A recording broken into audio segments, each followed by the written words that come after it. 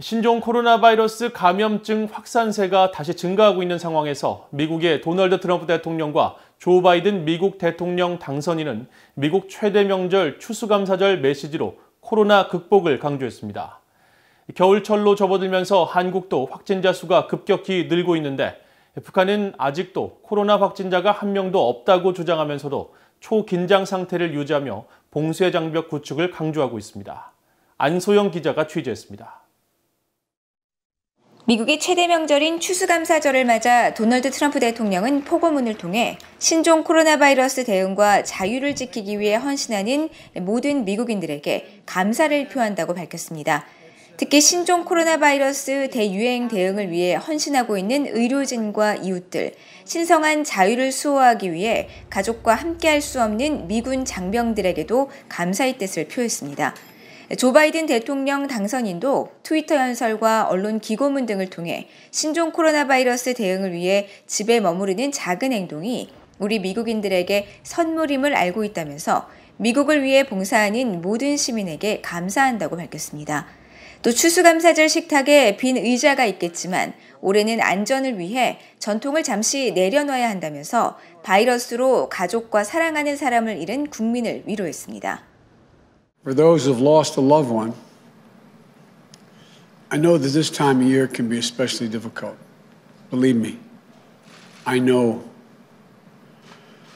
I remember that first Thanksgiving, the empty chair, the silence takes your breath away. It's really hard to care. It's hard to give thanks. 바이든 당선인은 그러면서 이 위기를 모든 미국인이 단합해 헤쳐 나가자고 강조했습니다. We need to remember we're at war with a virus, not with one another, not with each other. This is the moment where we need to steel our spines, redouble our efforts, and recommit ourselves to the fight. Let's remember, we're all in this together.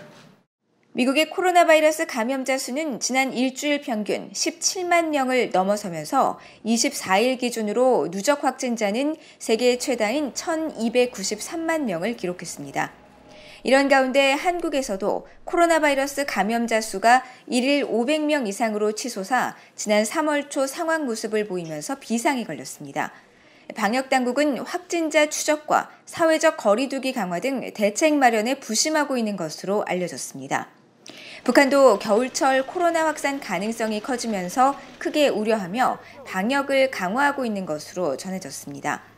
북한 조선중앙TV는 겨울철에 들어서면서 세계 많은 나라에서 신종 코로나 바이러스 감염자가 폭발적으로 늘고 있다면서 초긴장 상태를 계속 견지하며 완벽한 봉쇄 장벽을 구축하고 비상 방역 사업을 보다 강도 높이 벌여나가야 한다고 강조했습니다.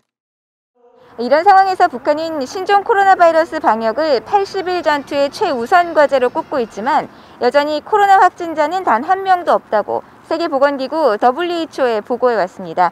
BOA 뉴스 안소영입니다.